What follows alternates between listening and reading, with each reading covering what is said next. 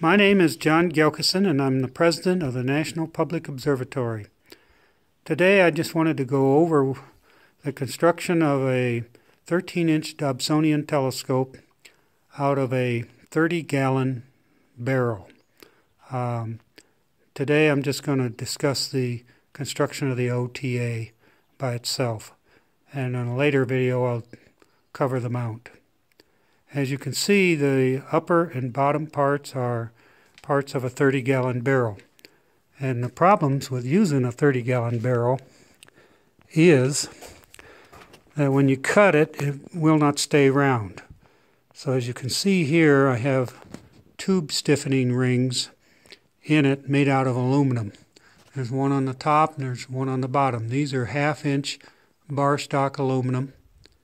And in the bottom, section I have a one inch bar stock aluminum and these are pop riveted to the OTA.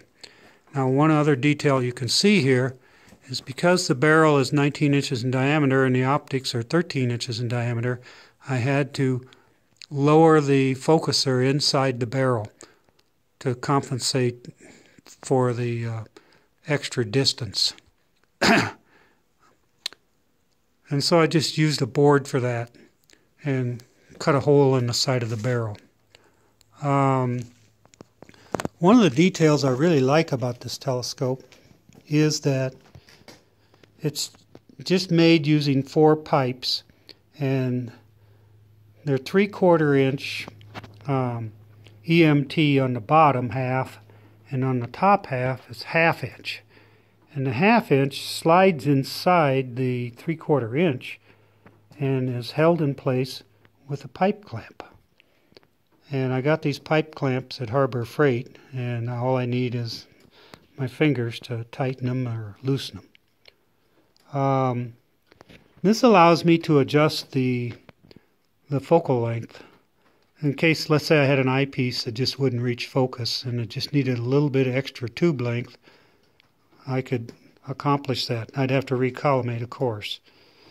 Um, another thing which I ended up doing, you see these crossbars on here, there's two on the bottom and two on the top, is even with the uh, aluminum bar stock for helping the, um, the barrel stay round, they were just still slightly out of round, and that helped bring them back in to round um, just by using pipe clamps and then setting these uh, these crossbars on there.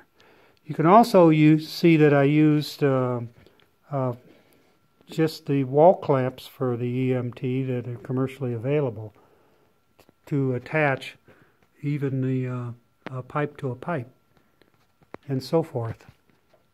You can see it there and there. And so really all I did was end up buying uh, quite a few fasteners.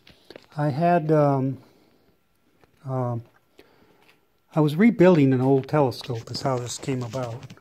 So the, I already had the main mirror and I had the uh, uh main mirror cell and the secondary and so forth and the finder and focuser. So I didn't have to buy all that. Now you may notice some short arcs of uh, of aluminum in there and that's just for where I went through the tube to fasten it right there.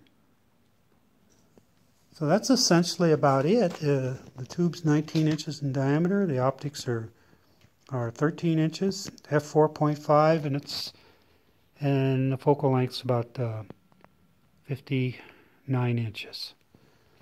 And the whole OTA turned out because of the declination axis uh, which really pushed the weight up because they're quite substantial.